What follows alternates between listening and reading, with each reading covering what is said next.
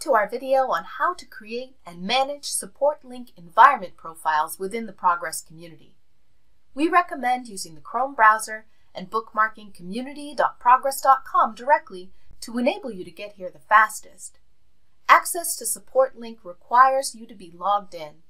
Check out our video on accessing the community if you need any assistance with that. You can access support link by using the support item in the main navigation and clicking support link.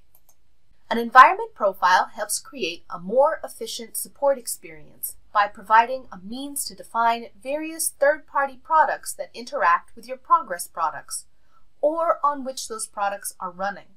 This includes such things as JVMs, compilers, web servers, and more. Please keep in mind that environment profiles are not designed to store information about your Progress products. That information will be identified through the product selection wizard during case creation.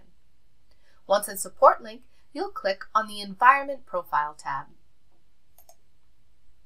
Here you'll see a list of already configured environment profiles. To create a new profile, click on the New button in the upper right-hand corner.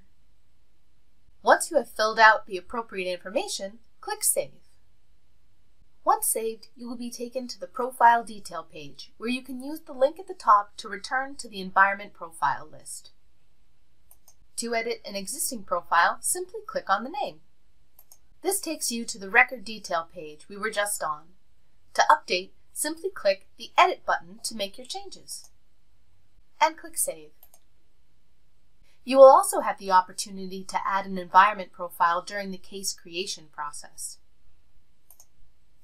You can also specify an environment profile on an existing case. Select the specific case, and then click the Edit Case button. If we scroll down, we'll see the environment profile here. Here, I can select any available profile. Click Save, and that adds it to your case. That's it for now. Please feel free to check out our other videos to help you get set up for success here with Progress.